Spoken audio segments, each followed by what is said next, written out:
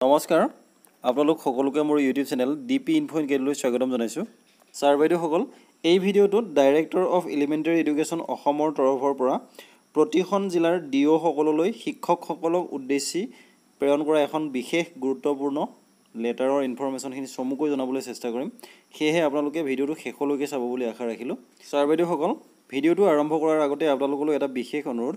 আমাৰ এই চেনেলৰ জৰিয়তে শিক্ষা বিভাগৰ লগত জড়িত সকলো ধৰণৰ সৰু বৰ গুৰুত্বপূৰ্ণ ইনফৰ্মেশ্যন ৰেগুলাৰ আপলোড কৰিবলৈ চেষ্টা কৰা হয়। সেয়েহে আপুনি যদি এতিয়াও আমাৰ চেনেলটো ছাবস্ক্ৰাইব কৰি লোৱা নাই তেনেহ'লে অনুগ্ৰহ কৰি ছাবস্ক্ৰাইব কৰি ল'ব বুলি আশা ৰাখিলোঁ। তেনেহ'লে আহকচোন ভিডিঅ'টোৰ মূল কথাখিনিলৈ আগবাঢ়োঁ। তাৰ বাইদেউসকল এইখন হৈছে office of the director of elementary এডুকেশ্যনৰ তৰফৰ পৰা প্ৰতিখন জিলাৰ ডিষ্ট্ৰিক্ট এলিমেণ্টেৰী এডুকেশ্যন অফিচাৰসকললৈ প্ৰেৰণ কৰা এখন গুৰুত্বপূৰ্ণ চিঠি। আৰু এই চিঠিখন প্ৰেৰণ কৰিছে additional director of elementary education Assam Shri Nripen Das আৰু এই চিঠিখন ত্ৰিছ জুন অৰ্থাৎ কালি প্ৰেৰণ কৰা হৈছে। আৰু ইয়াৰ ছাবজেক্টটো হৈছে regarding engagement as L I C agency journalism or any other profession by school teacher আৰু ইয়াত এটা ৰিফাৰেঞ্চ নম্বৰ দি দিছে government letter no A double E one forty three oblique two thousand twenty two four dated four six two thousand twenty two ইয়াত লিখিছে sir with reference to the subject cited above I am directed to inform you that several complaints from public and L I C agents association have been received by this office of the undersigned regarding engagement themselves by school teachers of government provincialized as LIC agents, journalism or any other profession. অৰ্থাৎ আমাৰ শিক্ষক সমাজৰ একাংশ শিক্ষকে L I C agent অথবা journalism বা অন্যান্য কিছুমান প্ৰফেশ্যনত জড়িত হৈ আছে বুলি অসম প্ৰাথমিক শিক্ষা সঞ্চালকালয়ৰ কাৰ্যালয়ত কিছুমান কমপ্লেইন পোৱা গৈছে আৰু এই কমপ্লেইনৰ আধাৰত এই চিঠিখন জাৰি কৰা হৈছে ইয়াৰ পাছত as you well awarded teachers are employees of the state government and all of them are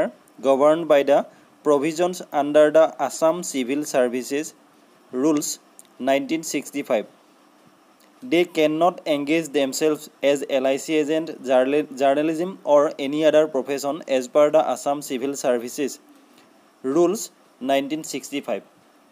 Any violation of the aforesaid rules attracts disciplinary actions against erring employees. অৰ্থাৎ ইয়াত ইয়াকে কোৱা হৈছে যে অন্যান্য কৰ্মচাৰীৰ দৰে শিক্ষক কৰ্মচাৰীসকলো হৈছে অসম চৰকাৰৰ অধীনৰ কৰ্মচাৰী। আৰু অসম চৰকাৰৰ আছাম চিভিল ছাৰ্ভিচ যি ৰুল আছে নাইনটিন ছিক্সটি ফাইভ সেই চিভিল ছাৰ্ভিচ ৰুলৰ মতে শিক্ষক কৰ্মচাৰীসকলে L I C agent journalism বা অন্যান্য তেনেধৰণৰ প্ৰফেশ্যনৰ লগত জড়িত হ'ব নোৱাৰিব। অৰ্থাৎ তেওঁলোকে L I C agent journalism বা অন্যান্য প্ৰফেশ্যনত নিজকে নিয়োগ কৰিব নোৱাৰিব। আৰু যদি কোনো শিক্ষক কৰ্মচাৰীয়ে এই আছাম চিভিল ছাৰ্ভিচ ৰুলৰ নিয়মখিনি ভংগ কৰে। অৰ্থাৎ তেওঁলোকে যদি নিয়মৰ বাহিৰত গৈ নিজকে এল আই চি এজেণ্ট বা সাংবাদিকতা বা অন্যান্য তেনেধৰণৰ কোনো প্ৰফেশ্যনত নিজকে নিয়োগ কৰে তেনেহ'লে সেই ৰুলটো ভংগ কৰা হ'ব। আৰু সেই ৰুল ভংগ কৰিলে সেই কৰ্মচাৰীসকলৰ বিৰুদ্ধে চৰকাৰে বিহিত ব্যৱস্থা গ্ৰহণ কৰিব পাৰিব বুলি ইয়াত উল্লেখ কৰা হৈছে।